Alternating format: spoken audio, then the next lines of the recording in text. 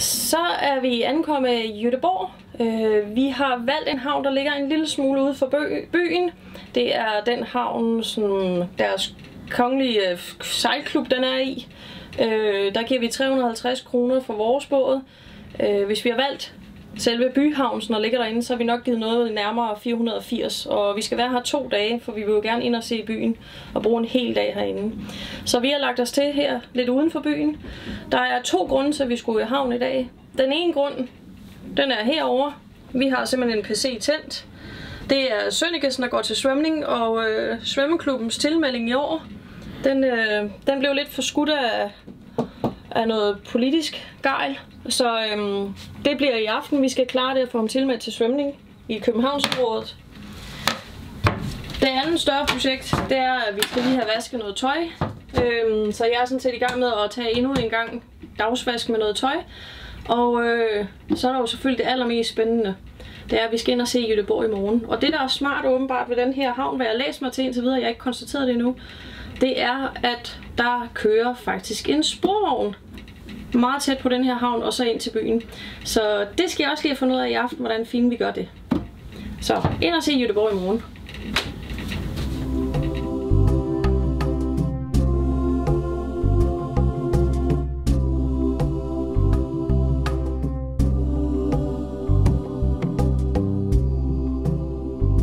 Vi er en familie på tre, der har en båd, som vi elsker at sejle i.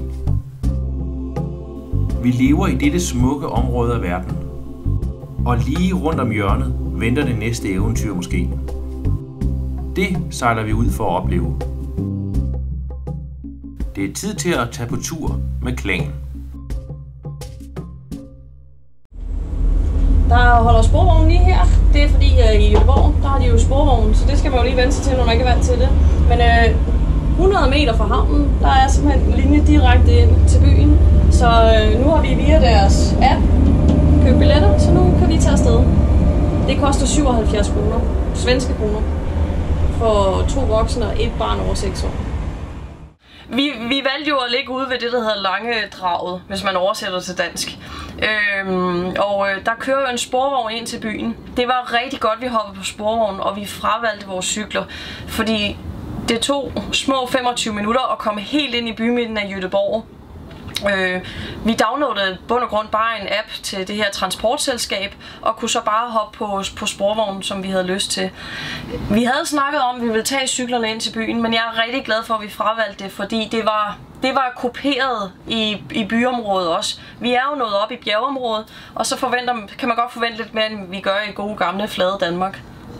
Så, så det, var, det var den absolut bedste løsning for os. Så er vi øh, taget ind til Jødeborg.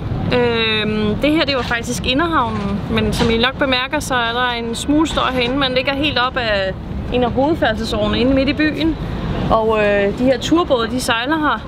Så, øh, så da vi lige kom ind og så det, så var jeg rigtig glad for, at vi valgte den havn uden for byen. Jødeborg er øh, den fjerde største by i hele Skandinavien, så det er en stor by, man kommer til. Det er storby på den måde, at den, bliver, den er kendt shoppingmæssigt som være det skandinaviske London. Det er så meget, at de da selv reklamerer for det. Øhm, så det er en storby, og når man satser på at tage på en skærgårdsferie, så er det måske ikke lige den retning, man kigger på, men det kan jo være det gode afbrud i forhold til resten af det spændende.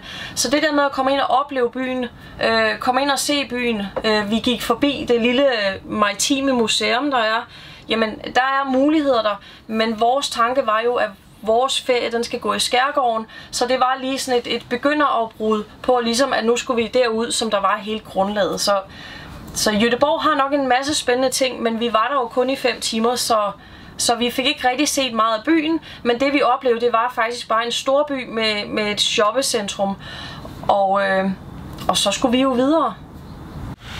Jamen, øh, Jødeborg, det er jo en stor by på godt og ondt. Der er jo øh, alt det, der hører til sig en stor by. Der er fyldt med mennesker, der er masser af muligheder, muligheder for at shoppe, muligheder for at få repareret sin båd og provianteret. Vi har øh, valgt at ligge øh, i den her havn, der ligger lidt uden for, for byen, og øh, det har vi overhovedet ikke fortrudt, især ikke efter vi var inde og se øh, den anden havn. Der er noget mere roligt herude, og øh, faktisk også lidt øh, hyggeligere. Forholdene de er i orden, og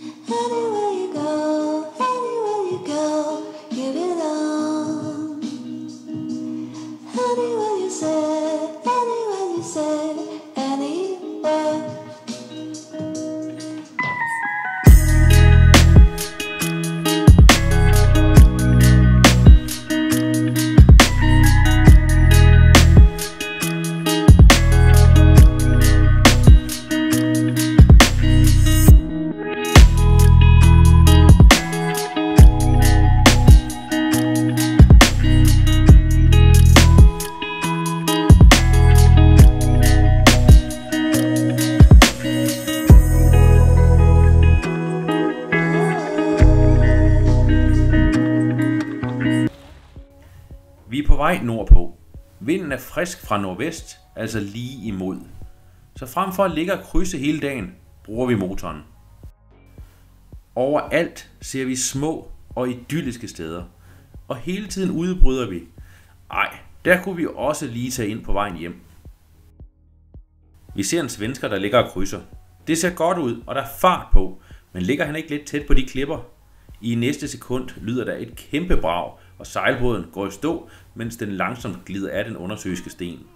Vi bliver i området et øjeblik for at sikre, at der er styr på det, med, mens vi tænker tilbage på, hvor lidt der skal til for at ødelægge en sommerferie.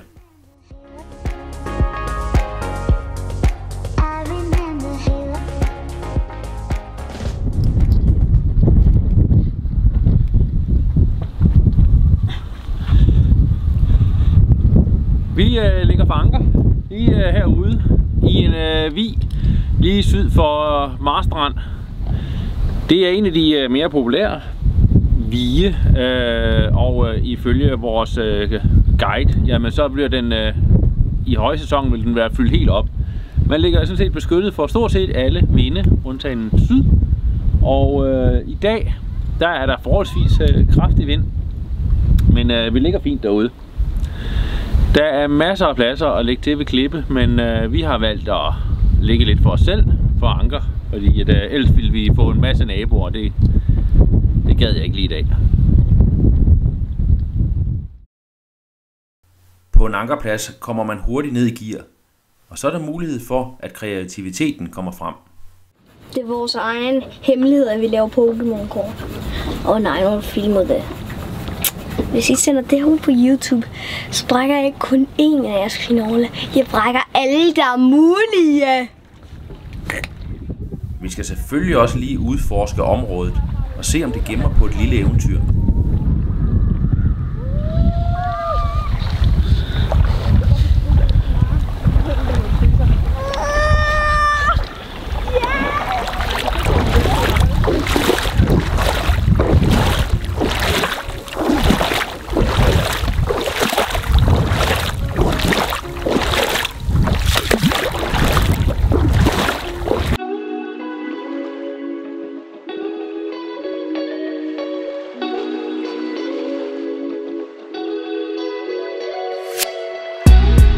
Fem dage inde i ferien, og øh, ligger her i en ankerbugt syd for Marstrand. Og der har vi sådan set ligget hele dagen. Der er ret meget vind, så Rocknan og øh, de her 30 meter kæde, jeg har lagt ud, de har, de har måttet arbejde lidt for sent i dag. Men øh, det holder fint, og øh, nu her til aften der er vinden ved at lægge sig. Så det bliver en rolig nat. Det er super betryggende at vide, at man nu har fået en ankerdrej, ankergrej, der rent faktisk holder. Det, er, det har simpelthen været investeringen, der er alle pengene værd. Det, øh, jeg kommer til at sove fint i nat. Dagen i dag, jamen altså det her sted, vi har været, øh, det har været ret blæsende, ikke? Og man bliver selvfølgelig noget træt i hovedet. Øh, fordi at, at, altså vinden, den larmer jo hele tiden, ikke? Og så, det giver en eller anden naturlig træthed. Så det, man dogner lidt i cockpittet, ikke? og så, øh, så har vi selvfølgelig også lige roet en lille tur og gået på ekspedition her i området. Mens vi har ligget for anker, har vi ligget og, og pendlet og drejet lidt, øh, hvad hedder det, om os selv. Og, øh, og det her kan man så hindre med sådan et, øh, et sejl. på Agterstad. Jeg ved ikke, jeg kan simpelthen ikke huske, hvad det hedder. Og sådan et har vi ikke. Men øh, det er måske noget, vi skal have på ønskesedlen. Jeg skal lige, det skal lige gå og tænke lidt over, om jeg måske kan jeg i bund og grund godt bare leve med, at, at vi vælter lidt frem og tilbage. Lige nu, der er jeg roet i land, hvor at øh, tage billeder af solnedgangen. Den øh, går ned her om en øh, times tid. Og så har jeg sat sådan en timelapse op, som, øh, hvor det er meningen, at jeg skal se den øh, gå ned her under over klipperne. Så øh, det glæder jeg mig til at se. Det er jo spændende. Det finder man jo først ud af, når man kommer hjem, om, om det er noget, der kan bruges eller ej, eller om det bare skal smides ud. Det tager lige en times tid, og så kan jeg sidde og nyde øh, varmen herinde i, ved klipperne og lægen i mellemtiden. På filmen her er det tydeligt at se, hvor meget vi egentlig bevæger os fra side til side i den kraftige vind. Derfor har vi bestilt et ankersejl, som vi håber vil afhjælpe det lidt. Mere om det næste år. Vi, øh... Vi ligger så inde i den her, den her beskyttede bugt, ikke? og i løbet af aftenen, så dør vinden øh, fuldstændig. Ikke? Det, det, det tegner til at blive rigtig godt, og vi går, går om læge i.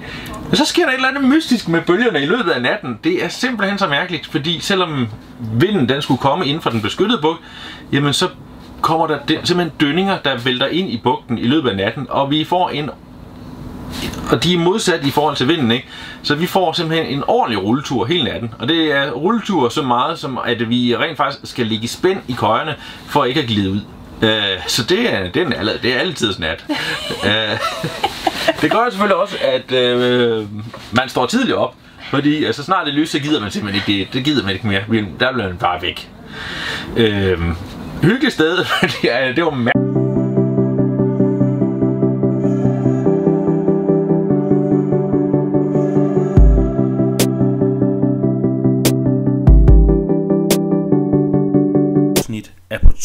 Med klan. Vi havde hørt så meget godt om Marstrand, og nu blev det endelig vores egen tur til at besøge den.